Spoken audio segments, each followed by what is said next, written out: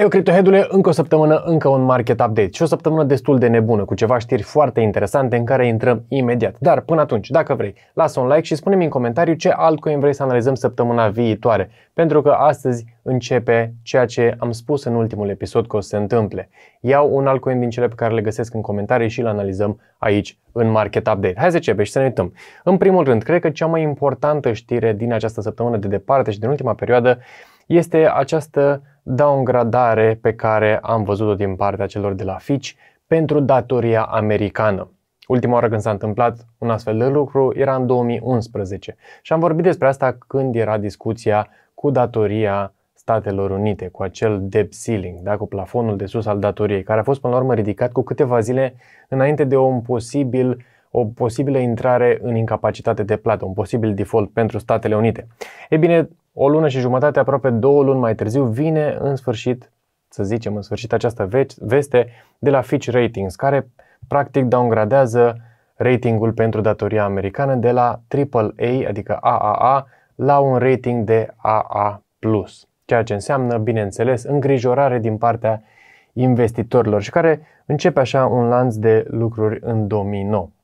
Practic, de ce e important să luăm în seamă ceea ce se întâmplă în acest moment cu Fitch Ratings. Pentru că datoria americană este unul din cele mai sigure investiții de pe pământ. Pentru că nu, de fapt, te gândești, bă, unde aș putea să-mi pun niște bani ca să primez niște dobândă și sigur să nu pierd cumva din banii aia. E bine, guvernul american prin toată puterea pe care o are în spate, ar trebui să-ți ofere destulă siguranță încât să nu ai astfel de probleme. Cu toate astea, înseamnă că analiștii încep să-și pună semne de întrebare în legătură cu modul în care este în acest moment guvernată din punct de vedere economic statele Unite. Și asta, bineînțeles, așa cum spuneam, are anumite repercursiuni, dar o să intrăm imediat și acolo. Acum, pe partea cealaltă, la noi în cripto, a venit o veste la care foarte mulți dintre noi se gândeau că o să apară mai devreme sau mai târziu. După ce a fost pus o acuzare de către CFTC și apoi de SEC, Binance pare că este acum luată la rost de către Department of Justice pentru fraudă. Doar că știrea a venit într-un moment interesant și într-un fel interesant, în sensul că a apărut practic pe acest site de media, semafor.com și se vorbește despre faptul că uh, procurorii iau în calcul o punere sub acuzare pentru Binance, doar că mi se pare foarte interesant acest pasaj. Citez, prosecutors are considering other options such as fines and deferred or non-prosecution agreements according to the people. That outcome would be a compromise, holding Binance responsible for alleged criminal behavior while reducing consumer harm. Aici mă pune un pic pe gânduri, în sensul că de unde ar fi venit această știre pe auzite, pe surse, în care să se specifice faptul că da, dar totuși n-am vrea să facem rău utilizatorilor și n-am vrea să creăm un bankrun acolo la Binance, dar ne gândim când vreodată s-ar întâmpla lucrurile așa. Nu știu, mie mi se pare că ceva lipsește undeva în acest moment, inclusiv faptul că Department of Justice a refuzat să comenteze această știre pe surse care a apărut în presa internațională despre Binance. Mi se pare că ceva undeva nu se leagă și acum, coincidență sau nu, faptul că Semafor.com a fost una dintre companiile în care Sam Bankman-Fried a făcut o investiție destul de mare, care până la urmă se pare, cel puțin dintr-un uh, știre pe care o vedem postată pe 18 ianuarie 2023, că ar fi returnat-o. Cei 10 milioane de dolari pe care SEMI ar fi investit în semafor, pare că ar fi fost returnați la începutul acestui an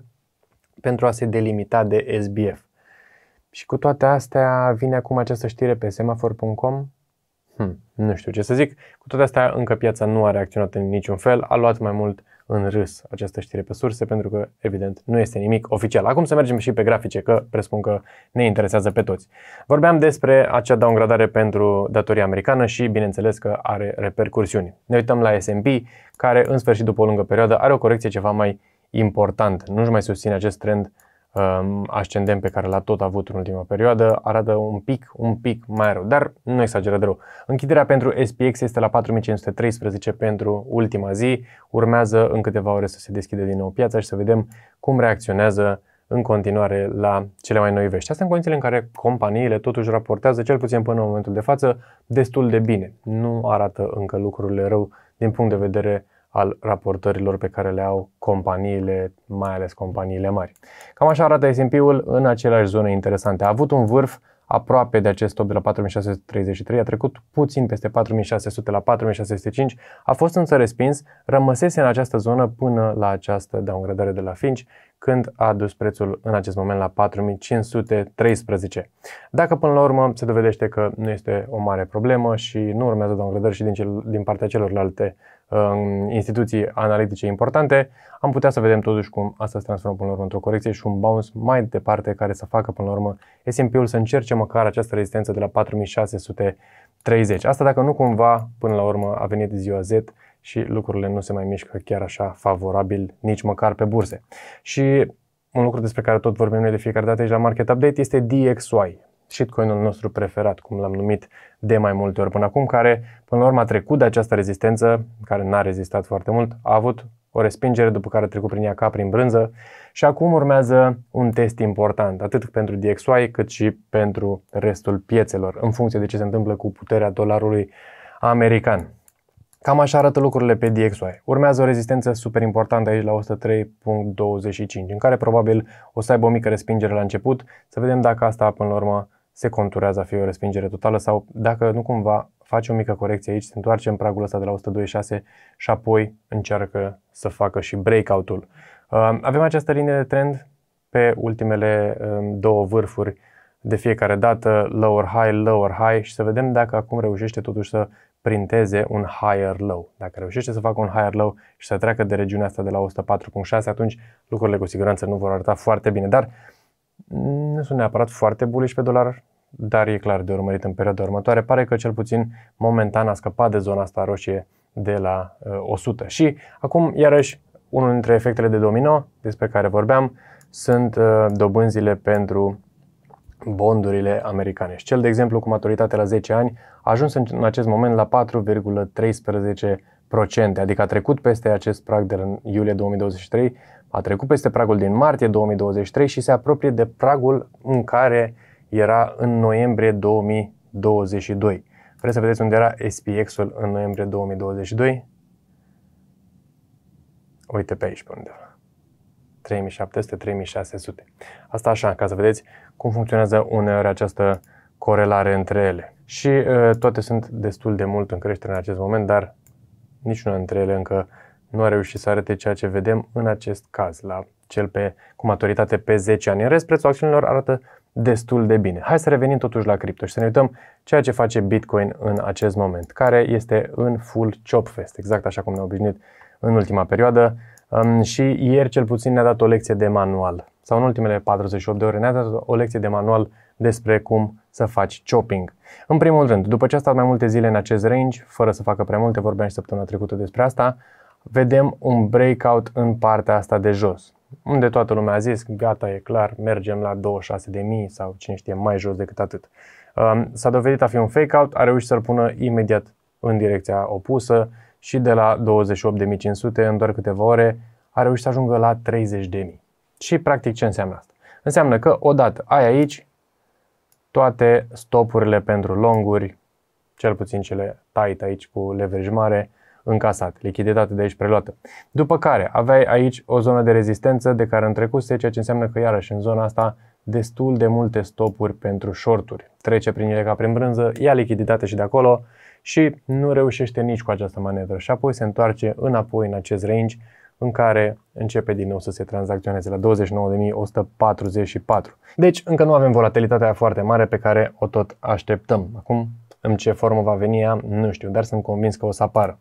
Din punct de vedere al dominanței, avem un bounce destul de interesant. A trecut din nou peste pragul de 50% după ce s-a chinuit destul de mult câteva zile sub el, aici la 49,6 cu un bottom, ajunge din nou acum la 50,12, în timp ce altcoin-urile nu arată deloc bine în acest moment. Vedem, tot al treilea este acum la 340 de miliarde și pare că se îndreaptă ușor în ușor înapoi în această zonă de la 330. O zonă care ar trebui să țină destul de bine, cel puțin pentru moment, cel puțin dacă nu vine vreo oficializare a acestei știri cu Binance sau ceva care chiar să pună um, lucrurile on fire în cripto. Dar, în continuare, altcoin-urile nu prea arată foarte sănătos. Mai ales dacă ne gândim că mai acum câteva zile hai săptămâni, lumea striga altcoin season, odată cu acea decizie din cazul Ripple, care pare că nu a ținut. Apoi ETH, dacă ne uităm rapid și pe el, este aici la 1830. ETH este unul dintre, nu știu cum să-l numesc, este unul dintre cele mai stabile coinuri pe care le-am văzut în ultima perioadă. Se tranzacționează în acest range din martie 2023, între 1700 și maximul de 2000, pe care l-a încercat de câteva ori. În rest este aici la 1850 ca medie în median range-ul ăsta de aproape jumătate de an.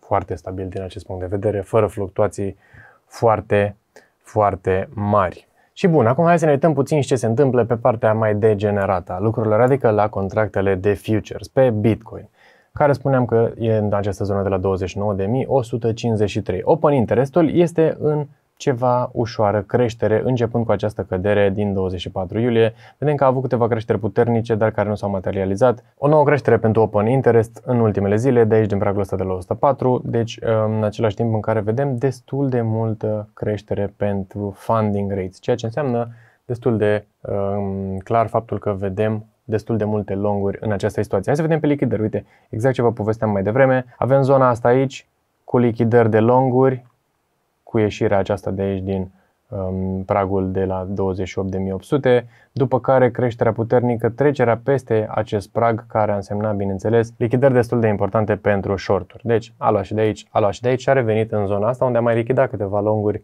pe această coborâre. Pentru oamenii care au spus, gata, aici este breakout, let's go și au mers max long. Deci cam așa arată situația. Nu văd o creștere foarte mare pentru open interest, ceea ce înseamnă că momentan nu ar trebui să vedem o cascadă întâmplându-se prea curând. Și acum, să trecem la partea pe care probabil toți o așteptați. Vorbim în această săptămână despre Polkadot, pentru că el a fost cel care a apărut de cele mai multe ori în comentariile clipului de săptămâna trecută. Și hai să ne uităm cum arată Polkadot în acest moment. Uite-l pe DOT aici. Îl dăm noi mai Hakana. Cam asta e situația pe DOT. Unul dintre proiectele favorite din ce observ pentru voi, ceea ce mi se pare interesant pentru că Polkadot promite foarte multe chestii și este un proiect interesant ca și concept. Doar că nu se află într-o zonă foarte bună. Macro, dacă ne uităm, avem suportul ăsta clar de aici de la 4.20 pe care l-a încercat odată la finalul anului 2022, l-a testat din nou în iunie 2023, a făcut bounce pe veștile cu Ripple, a încercat zona asta de aici de la 5,6 și acum este în partea de jos a range-ului pe termen scurt, unde a încercat și aici de câteva ori. A încercat o dată aici, o dată pe 10 iulie, apoi a avut iarăși urcări și acum încercă din nou zona asta de la 5 dolari. La fel cum a încercat de mai multe ori și rezistența de sus de la 5,6, de 3 ori niciodată nu a reușit să închidă peste și astfel se păstrează și el în acest range. Acum, dacă reușește să spargă suportul ăsta, probabil că se va îndrepta ușor, ușor din nou către acest suport de la 4.2 și să vedem dacă a treia oară mai reușește să facă bounce. Merită încercată o poziție aici, posibil pentru un eventual bounce, dar dacă face un bounce aici și apoi își găsește o rezistență în zona asta, poate să meargă foarte ușor sub și să creeze un nou bottom pentru acest ciclu. Dacă nu, în partea de sus avem câteva zone interesante pentru Polkadot, avem aici la 6, în primul rând o zonă destul de interesantă de preluare de lichiditate, inclusiv de aici, din iulie 2022, vedem când a reușit să formeze un mic button local pentru această perioadă, după care a făcut un bounce destul de interesant la 9,6 și o zonă per total destul de tranzacționată. Asta ca să nu vorbim de ceea ce s-a întâmplat în februarie și aprilie anului acesta, când a urcat până în pragul ăsta de la 7.4, dar per total își continuă acest trend descendent fără nicio problemă. Ce momentan cel puțin nu a reușit să iasă din el.